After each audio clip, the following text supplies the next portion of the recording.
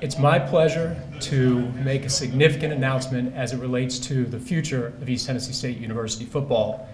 History will be made on September 3rd, 2015 at 7:30 p.m. as the East Tennessee State University football team plays its first game. Our opponent will be Kennesaw State and the game will be played at Kermit Tipton Stadium. This is an exciting time to be a Buccaneer. This is an exciting time for all of us to come together as an institution. I cannot look I cannot wait for that first game. I cannot wait to see our young men take the field. We're honored to have Kennesaw join us in this partnership together as two institutions start football and play their first official games together. Thank you all for all that you do for our university.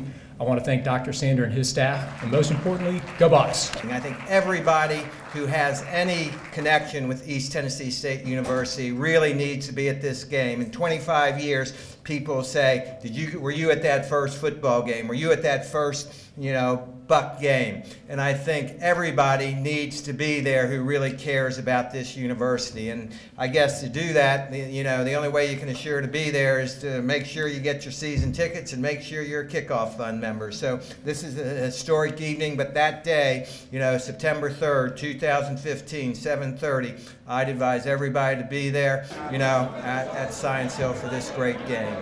I am ready for football. I don't know about you. Are you ready for some football? I am ready for football. I definitely want to thank Dr. Noland, President Noland at ETSU, uh, Bucs, Dick, uh, everybody for having us. We're as excited as this community as well. And I think what Dick said, this is a fitting opportunity for two programs to start their new traditions about football in 2015. ETSU people, it's back. It's here. It's what you've been waiting on. It's for real now. There's no doubt about it. We've got a real live ball game getting ready to happen. We've got a date. We've got a time. Uh, we want a full house. Hopefully you'll buy that season ticket because there may not be a seat in the house when we get through selling it out.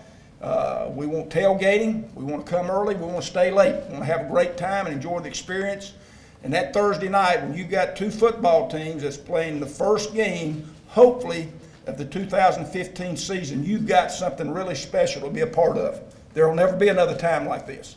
It'll be the first time and the last time you have a chance to see these two teams play the first game of their first season in NCAA football in the history of the schools.